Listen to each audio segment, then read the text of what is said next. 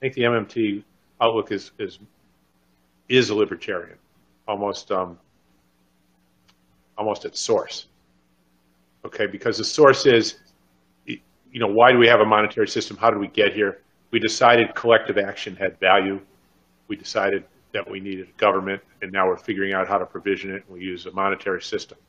And so it comes down to government is there for public purpose, for public infrastructure, and then you decide which public purpose, which public infrastructure you want. And I think that's a um, inherently as libertarian as there is. I mean, that's like, the, I'll use a bad word, but I'll just say a true libertarian position.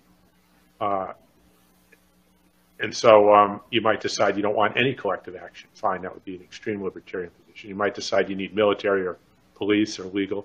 That would be, you know, less extreme libertarian position. The libertarians don't think you need stop signs for the roads. Cars will figure it out. That's fine. But the idea is you're discussing which items of public infrastructure support public purpose. And then once you've got that established, then you go ahead and fund it. So, uh, you know, I think it covers um, I, I think there's something highly, you know, deeply libertarian about the, the whole understanding and the, the analysis.